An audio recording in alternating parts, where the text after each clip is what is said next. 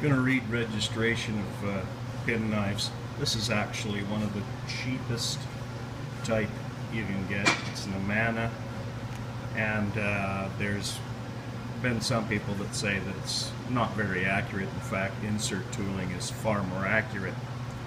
Uh, so what I have here is drill rod. It's the same size as the bore on this. This is just a small head. Uh, these are, you know, these are $12 high-speed steel knives. There are far better uh, uh things, but uh, the, the difference between the pins and corrugated is corrugated only locks in one position. So it has to be adjusted up and down. Pin knives lock in both up and down and in and out.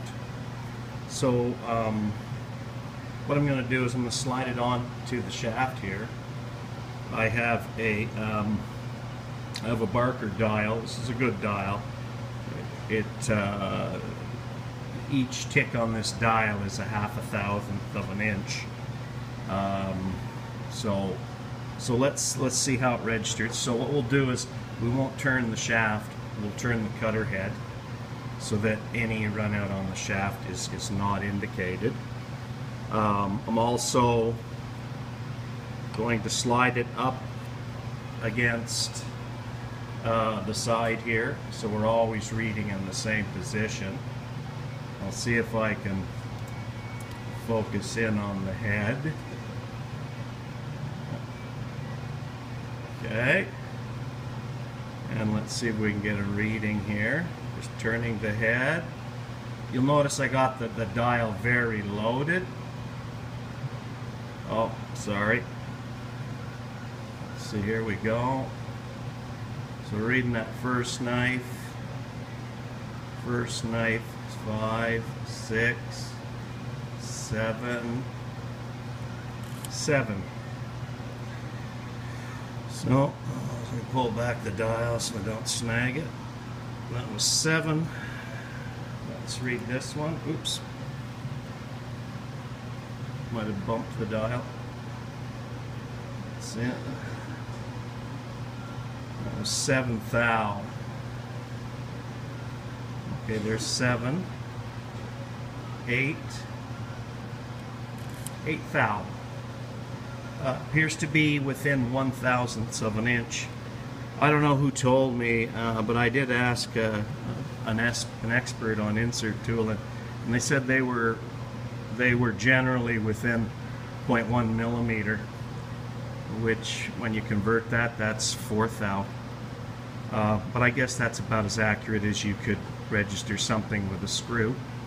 Anyway, uh, I imagine, uh, you know, uh, they're fairly accurate, probably accurate than most. Okay, here I'm going to measure the dowel pins that register the pin knives and they are threaded on. They are a hardened pin and they are replaceable if they get knackered. Okay?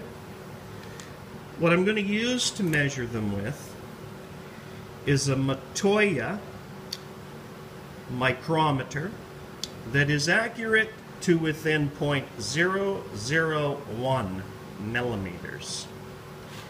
Okay, so let's um, let's check the let's check it for uh, Let's check the clutch and see if it's actually set. Look at that. It's perfectly set. Always hits zero. Okay, so let's start off by measuring a sheet of paper. Uh, some people have a hard time understanding how big something is, and when we're talking about these big numbers that look like big numbers, let's compare them. Okay? Uh, let's focus in. Okay, so looks what we got here. The paper is 10, 11. It looks like it's hitting on the 6. So the paper is point one one six millimeters. That's how thick a piece of paper is. And uh, it's not this particularly heavy cardstock. That's a standard envelope paper. Okay? Now, uh, the pins, according to the manufacturers, are 6 millimeter pins. Dowel pins are probably the most accurate registration. If you're a machinist, you know that. Now, dowel pins cannot be larger than their specified um, uh, size, and these are these are specified dowel pins of six millimeters, which means they can never be larger than six. During manufacturing, there's always for parts that fit to each other's, the accuracy is either plus or minus. In the case of the dowel pin, it would have to be minus. Now that tolerance, in other words, how much tolerance is the manufacturer allowed, can be different all over the place. So we're going to measure the tolerance of this dowel pin, which is supposed to be 6. Now, as you can see, we've got it in there. So, oh, we can see that it is one one hundredth smaller. One one hundredth of a millimeter smaller. So that would be 0.010 smaller than six millimeters. Now, for measuring bores, the most appropriate tool is to use gauge pins which are certified. Matt has a set, I don't. So I'm going to use my machinist drill case which has uh, number bits, letter bits, and fractional bits. And I have found that the C bit fits into the knife very accurately. Matt will have to register this. We're talking microns, okay? So this is a snug fit into the bore. So let's measure that. Okay, and so that will give us the tolerance of the bore, which has to be bigger than 6. That's just basic machinery standards. So we'll do it. We'll focus in here, and we can see that it is 4.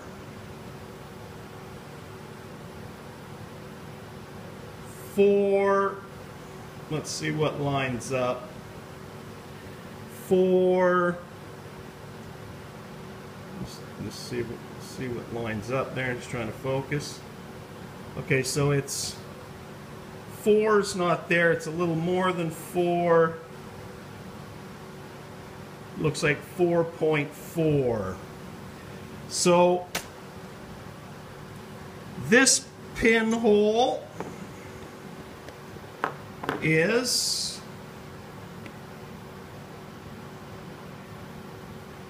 point zero four four millimeters bigger. This one is smaller. Okay? So now, what is the slop? Well, the slop would be this number added to this number which would give us, uh, it's going to give us point zero five four millimeters of slop. Okay, now let's look again at the thickness of paper. And the, that's the thickness of paper, 0.116 millimeters. That is the slop. Okay? And when we talk about accuracy of knives being set, we generally are working in thousandths of an inch, but some people will work in metric and they'll say 0.1 millimeter is accurate for setting knife. This equals 0.004 thousandths of an inch. So as you can see, the accuracy that most people register their knives to is approximately the thickness of paper. And the accuracy of that bore is less than half. The accuracy of those bores together are less than half the accuracy. Okay? Or in inches, approximately 0.002 thousandths of an inch. Two thousandths of an inch. That's pretty accurate. That is far more accurate than braze tooling and probably amongst some of the most accurate machining done. And this is perhaps one of the cheapest heads you can buy. So I would I would make sure that when people tell you that they're garbage and they don't register properly or properly, they aren't really um, got any facts. Uh, they are just reading documents from other people and uh, actually aren't putting stuff on a setting gauge or measuring it with proper machinery. And even here, I'm not measuring with proper machinery. If I use dowel pins, Matt could, could, could tweak that in. But, but still, I, I'm, I'm, I, we're talking about adjusting this little number right here. The accuracy I'm working in is here. Okay? Matt could bring us to the next digit and make that even more accurate. But uh, that is the accuracy of the pins. Uh, I also uh, put the two knives together with two C-bits sliding together to see the accuracy of the spacing. But obviously, the knife slides onto the pins in the head. It's, it's not a big deal. So uh, that's how much is needed for slop, which I could tell you is virtually nothing. It's 0.002 thou. It's 2 thou of an inch. It's 2 thou of an inch, or half of what insert tooling is to be set accurately to 0.1 millimeter, which is 4 thou.